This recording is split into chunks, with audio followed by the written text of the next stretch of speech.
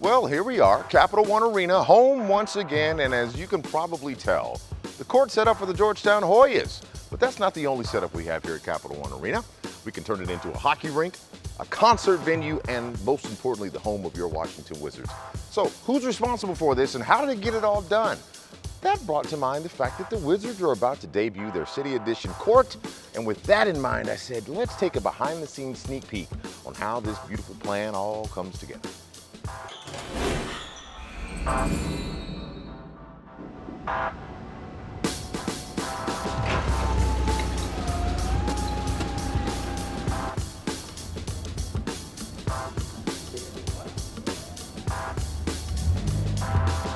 Is. How you doing, my How are you, friend? sir? I am very well. I've been waiting to talk to you because this is like low-key one of my favorite things to discuss. The house becoming the house for multiple different events. And I couldn't help but notice the reason we're here. In this corner, you got a hockey wall, but yet I see the flooring is down to protect the ice because right now the court is set up for a Georgetown Hoyas basketball game. One, how does one even get into like the logistics of how you guys pull this off? There are night elves, if you will, this time of the season, right? You know, you walk out at 11 for us after a game or after an event, and we come back at 7, 8 in the morning, and it's turned over. So the magic happens at night.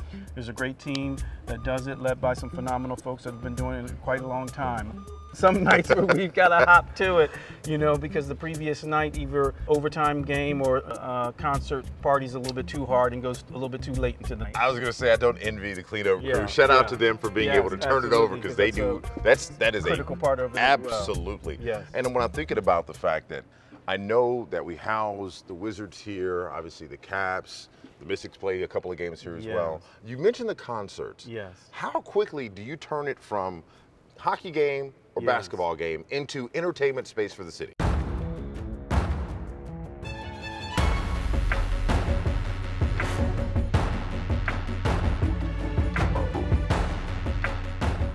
for most nights on average a good give us a good five six hours they can make just about anything happen now there are some nuances whether or not we're going to a dirt event uh, with monster trucks so that's a little bit different it's all built on layers we have as you mentioned mm. the ice underneath back in the old days for the folks that paid top dollar on the floor 25 years ago Yeah. this was the coldest spot That's what I was gonna say because it feels good were, to hear. The feet were freezing, but now with this new material, technology is coming to place. You can hardly tell if you didn't know you have ice underneath your feet. Wow. I heard that the City Edition court is in the building. It is. It has not been laid down yet. It is not. I want to see it. Yes. I want to smell it. Yes. Right Friends. this way. Right all this right, way. all right. Just arrived this morning, Yes. offloaded. Talk to me. You know, the creative process started, you know, springtime. Mm. So there's a design team that uh, imagines what it should look like and theme, you know, because the connection between the sports team and the city that they represent are, are, are deep.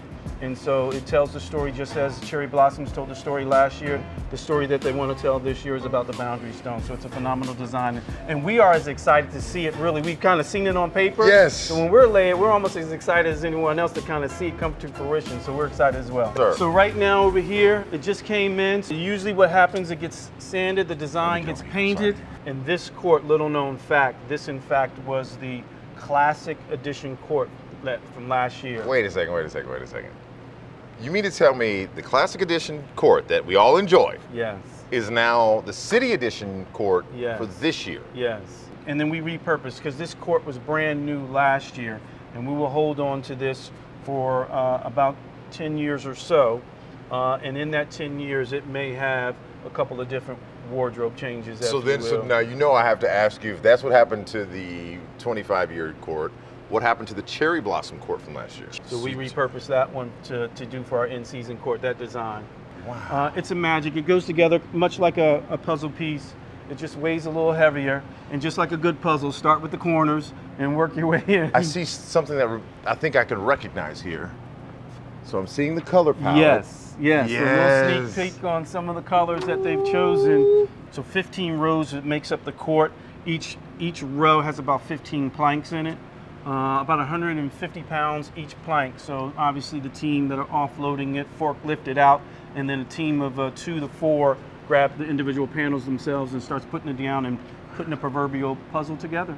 And I'm seeing they're all numbered. Yes, So- numbered them because the rows are lettered and numbered, so we just we kind of know what what happens. So if you have a child that's really good at putting together puzzles, They can knock it out the This park. is their This is- future. you have a spot in the NBA. Yes. If you're good at puzzles. Yes. There's. Thank you so very much. I cannot wait to see this in person for myself. To give you guys the flowers for being like spectacular Yes. at what you do. I appreciate it. Appreciate thank it. you, brother. Thank Appreciate you. it. Thank you, sir.